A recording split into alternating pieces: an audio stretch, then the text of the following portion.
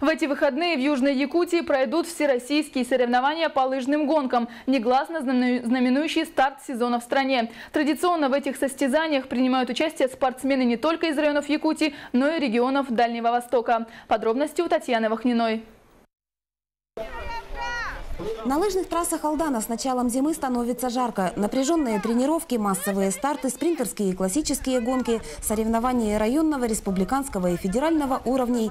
График сезона 2017-2018 обещает быть плотным. Открытие сезона, когда на старт могли выйти все желающие, состоялось на минувших выходных. Спорт воспитывает характер, э, спорт воспитывает какие-то нравственные устои. Люди, которые занимаются спортом с детства, и потом они вырастают, их вот, они отличаются от тех, кто не занимался. Они привыкли достигать цели.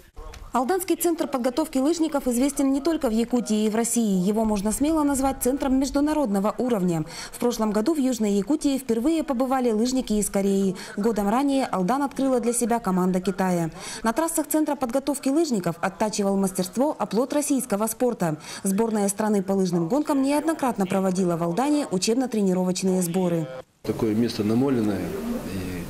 Все звезды лыжного спорта, можно сказать, э, в Алдане готовились.